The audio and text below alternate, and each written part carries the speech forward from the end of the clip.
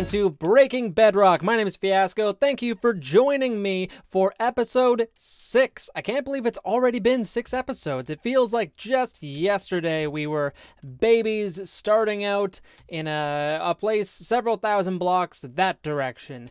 As you can see, I have been pretty busy on the old starter base here. I say starter base, we really had our starter base down there, but this is the metaphorical starter base. Uh, you can see my sheep are here and well behaved after our trip up the hill. And up here, I have started on something that has been actually probably my most effective farm so far. This is my automatic wool farm. Uh, how it works is these little guys, which took great pain to get inside these boxes, uh, they eat this grass when they're hungry. Maybe we'll get to see this guy do it. They don't do it immediately like they used to, but when he's hungry and he wants to replenish his wool, he's going to eat this grass. That is going to fire off a observer that's behind it. That hits that redstone dust and then fires off this uh, dispenser, which has shears in it. He gets sheared automatically. The wool falls through there because of our hopper minecart below. Uh, the hopper minecart picks it up, unloads it into some hoppers there, and we get a ton of wool. Uh, now, I don't really know what happened, but the first night I built this, I just put eight sheep in. I'm going to have another set above them. I would like to have 16, but I had them all in here, and I woke up in the morning and only three were left and in my chest was a bunch of mutton. Some of it was cooked and some of it wasn't. So I have a sneaking suspicion that a lightning storm ravaged my sheep because I didn't have these glass blocks above their heads at the time. I had trap doors above their heads. And I don't think that the trapdoor was enough, maybe, to stop lightning, because we are very high up here. These would be the highest up living creatures on this whole island, so I don't really know how lightning mechanics work in this game, but it wouldn't be that surprising if they got struck by lightning through the trapdoors during a, a, thunderstorm. So anyways, I had to go and dip into our reserve sheep and get another five of them and replace them. And then I dyed all of them black because I have an upcoming project that I would like to use a lot of black wool for. And this thing is great. This is a very efficient farm. I left it overnight and I got probably... Uh, two thirds of a full double chest of white wool. So a couple nights of AFKing here and it would really give you all the wool you need. I would like to have 16 of these. Eventually, I want another rack on top so that I can have one of each color and then just have it collecting colored wool in the background while we work in here. Update on our sugarcane farm. This thing sucks.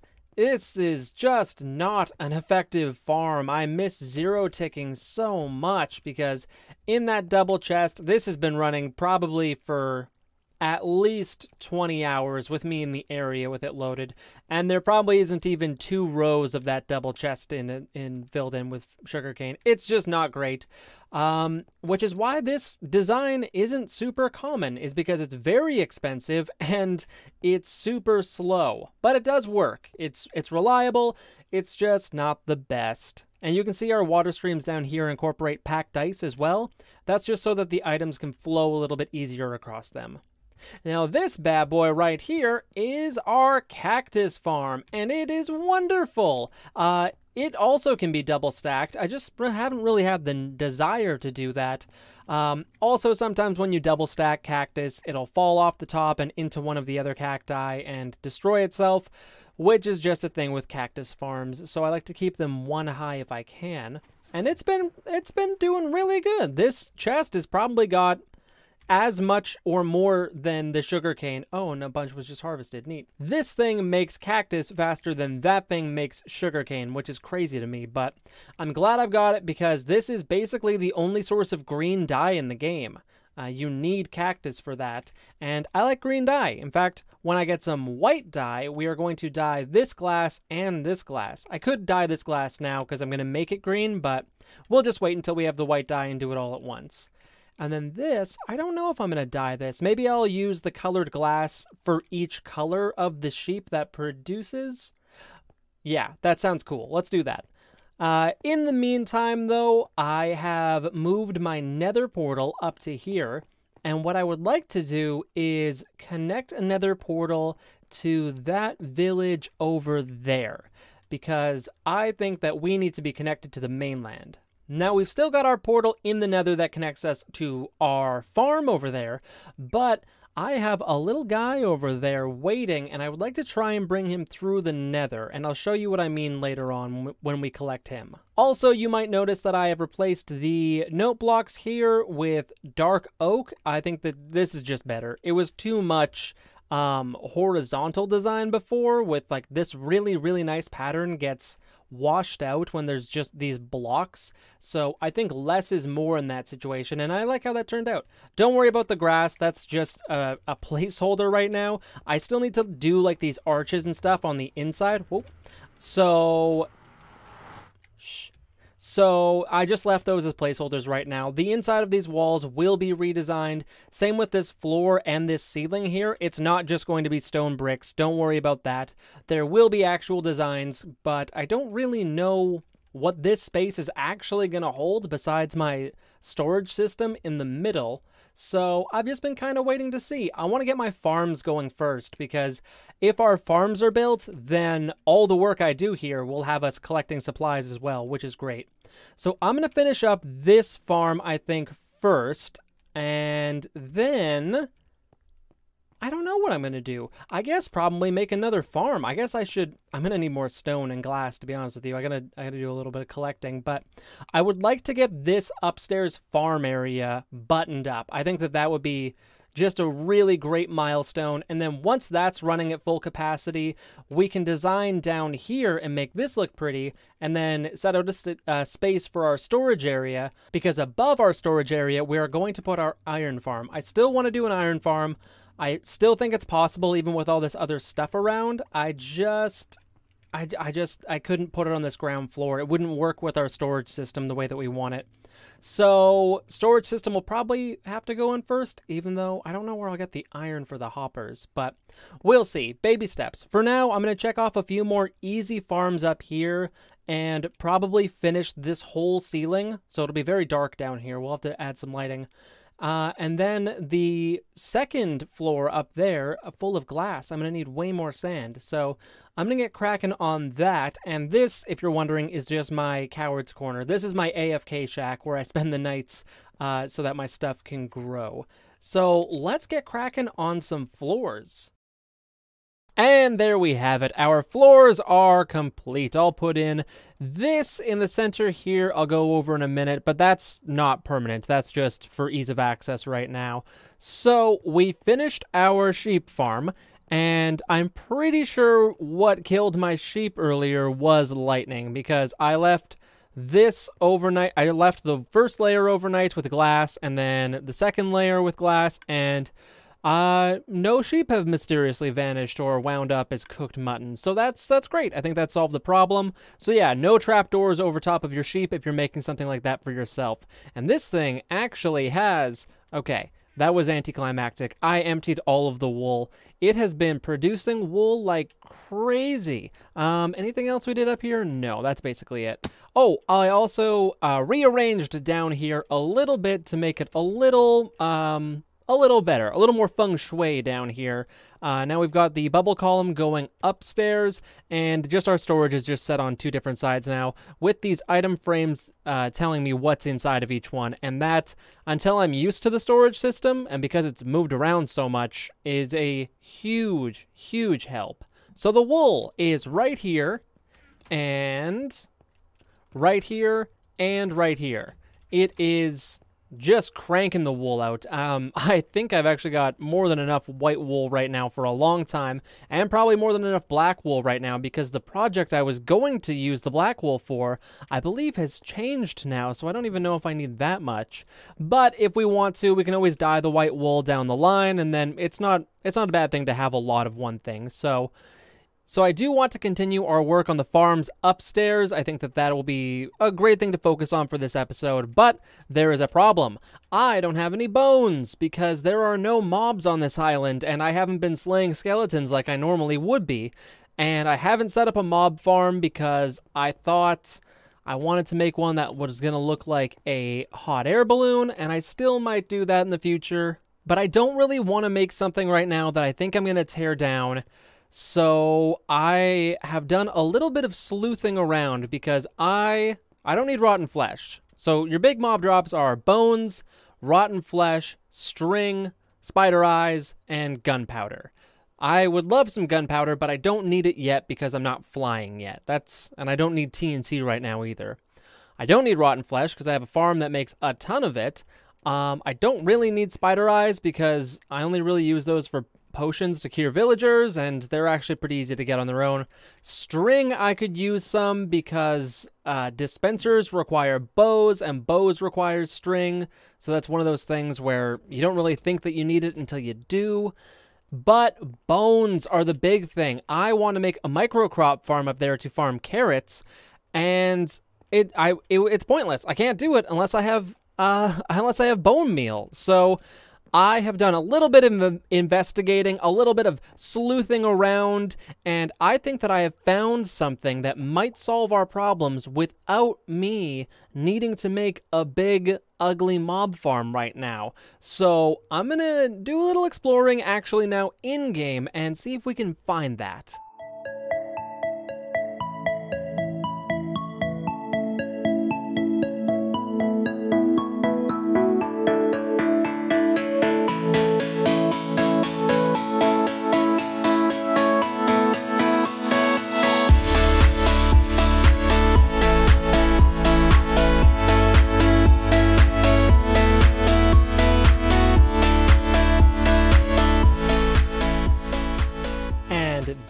Are. One spawner and two spawners. One's a skeleton, one's a spider. Problem solved. Now all that's left to do is all of the work in order to make these into a farm. And I don't think that I'm going to turn this into a farm that requires a trident killer. I think I'm just going to make it a farm where the mobs fall into somewhere, they get killed by uh, magma blocks, and that's it. They just they just do the drops. I'm not too worried about the experience that I'm going to get from it or using the looting effect, so we're not going to go with the Trident Killer. At least I don't think so. Um, this setup here, first of all, is a gold mine. I'm super, super, super lucky to have this and so close to my base. It was, yeah, a, a very, very convenient distance away. Um, so yeah, now all I gotta do is figure out an AFK spot, dig out all around here, and then get some killing mechanisms going. So, oh boy, projects, am I right? A guy just wants some bones. All right, let's get to it. Okay, so this is what we came up with, and I apologize, it is a little dark. I actually, uh, I might be able to light it up a little. Um, so as you can see, we just dug out all around that one up there. I actually didn't look up the dimensions of how much space I needed around these things. It seems like it's pretty tight. I probably didn't need to go this big with it, but I would rather be safe than sorry in this situation. So yeah, the spiders fall from way up there. They fall down. Um, I'm Pretty sure they die if they hit that uh, slab there, actually.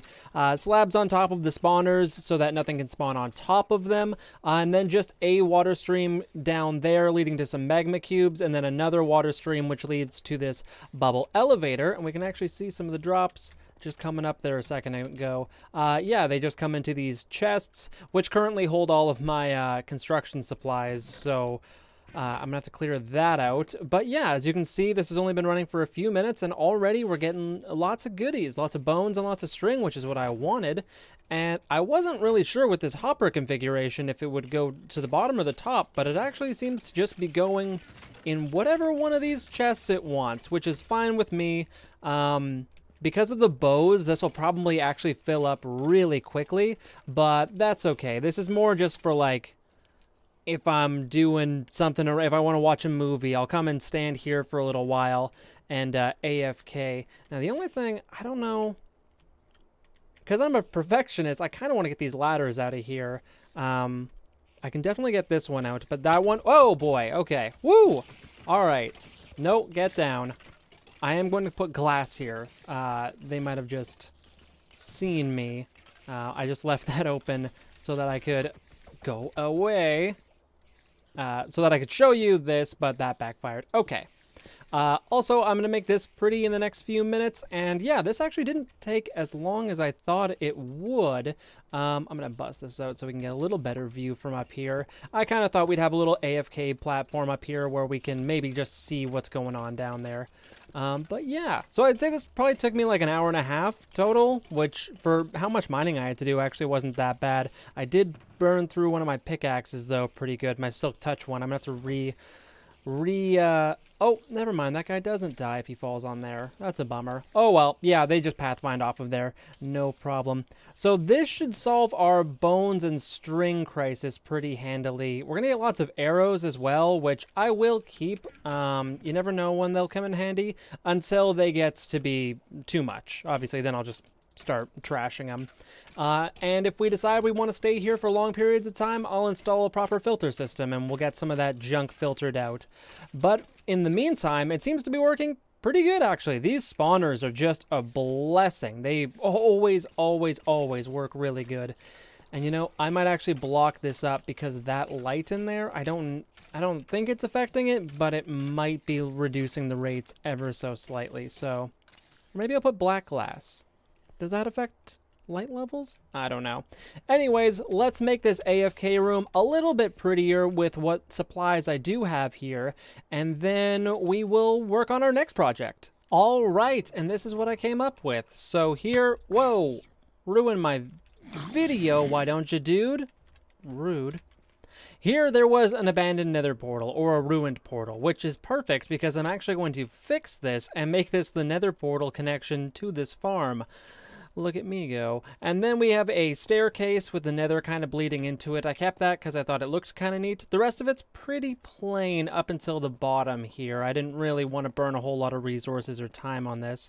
But then down here we've just got this nice little waiting room that I use some of our new white wool for leaving some garbage to despawn there. And yeah, my inventory is chocked full and my ender chest, so I have to go and drop all this stuff off so that I can come back and grab the rest of this junk. But yeah, so we've got a, a fully AFKable string and bone farm right now, which is perfect. That saves me from having to make that big old mob farm, which I really didn't want to do. So let's head back to the base. I'm going to do a few trips here, and maybe we'll see if we can get this nether portal linked up and see if we can get a, uh, a little nether hub going.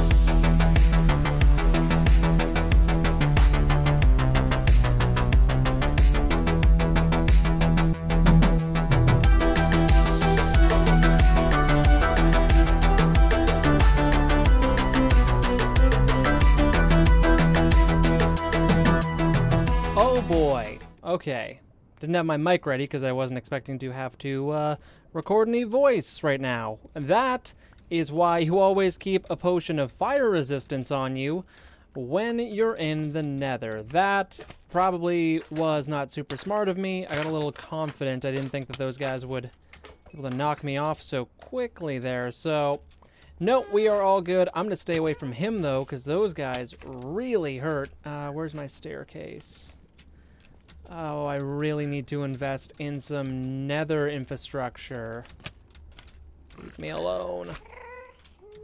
Alright, we are good. As long as the gas doesn't blow up this flimsy, flimsy bridge I've built. Okay. Uh, let's go get another potion of fire resistance. Okay, now that our new farm is fully connected via the nether, granted it is an extremely dangerous route, uh, that'll have to do for now though. I mean, it is still way quicker than going through the overworld. And, you know, as long as no zombie piglins uh, knock us into the nether, or regular piglins, or ghasts, or who knows, maybe the Striders will get frisky. I, I, I, uh, who know? It's always an adventure when you're in the nether. But if you bring a fire resistance potion with you, then you're, you're good to go usually. Anyways, after our little detour in the nether there, we are back at our bone and string farm, and it has been doing very, very well. You can see we get tons of string, tons of arrows. We actually don't get any bows, and very, very few spider eyes. And I think that's because maybe those only drop if a player has killed the creature, uh, which I'm not cheesed about at all. If there's no bows clogging up the inventory, that just means that there's another full stack of something that I do want in its place. Now, the string will pile up pretty quick, but good news is it can be compacted by turning it to wool, so it's not a big deal. But the bones. So this is after a one overnight AFK session. I went to bed at probably, I don't know, 10 o'clock, woke up around 7, and this is how many bones we got. So times this by 3? Is that how that works? Or 2? I can't remember. It, it's a weird conversion because one stack of bones makes three stacks of bone meal, and then nine stacks of bone meal make one stack of bone blocks.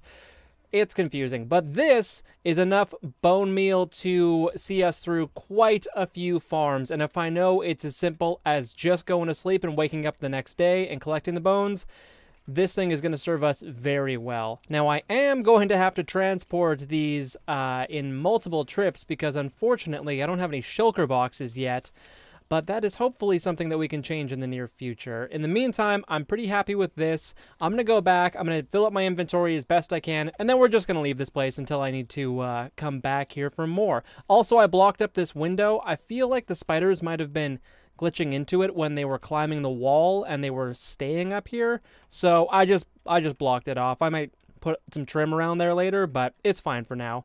Um, so yeah, I think that that's going to do it for today's episode. I know we didn't get all of the farms done that we wanted to, but honestly, this was a big project on its own, and this episode is getting long, so I'm going to have to cut it off. We will do more work around the base next episode, and who knows, maybe go on a little adventure and try and find some new biomes. Until next time, my name is Fiasco. Thank you so much for watching. Catch you in the next one.